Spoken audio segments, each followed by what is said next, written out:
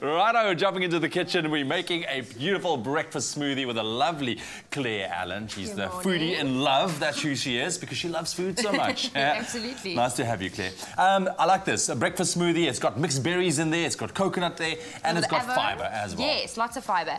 So this is a great on-the-go smoothie as always. You can do it at home on the weekends, but it's nice and quick. So I'm using a Okay. mixer.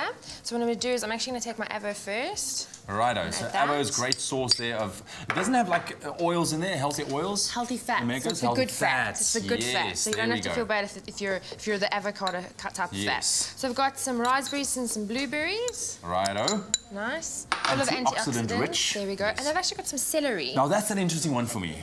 It's gonna it's just add That some might for me make or break the smoothie. Oh, I don't really? know. Okay, well you can be the taste We'll taste afterwards. And then I've got some cranberries and a little bit of honey, Okay.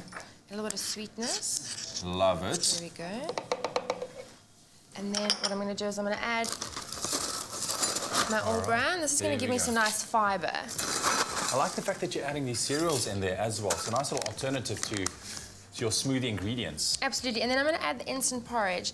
Now these are full of fibre. They're going to keep you fuller for longer. It's really, really good for you. I'm going to give a little bit more. All right. And then I'm going to top it up with some ice. And then you can use the dairy of your choice. You can use soy milk, almond milk, or just normal milk. Okay.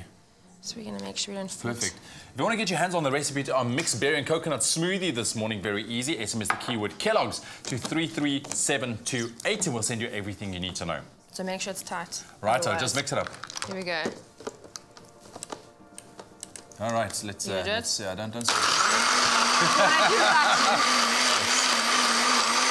All right. Okay, good.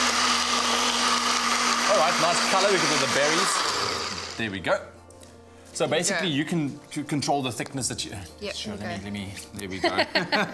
It's an early morning. Look how beautiful that is. So you can, you can add a little bit more Yeah. liquid. This is nice and thick. oh, if you're on the go, how beautiful is that colour? That is amazing. There we go. That is amazing. Spoon just to There we get go. the last bit out.